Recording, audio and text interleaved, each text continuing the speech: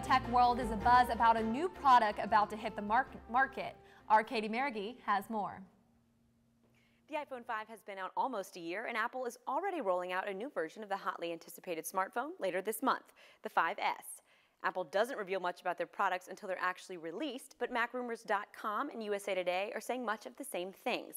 Now, with any new version of the iPhone come expected updates better camera, higher definition display, bigger flash, and a longer battery life. An addition we've never seen before is fingerprint authentication. This allows the user to simply press down on the base of the phone instead of swiping and entering a four-digit PIN to access. Also rumored are new colors for the 5S. In addition to the black and white versions already available, there's been speculation about gold and graphite models as well. Website Mac Rumors reports Apple filed a patent last month for wireless power utilizations. This means a new wireless charging option may also be in Apple's future as well.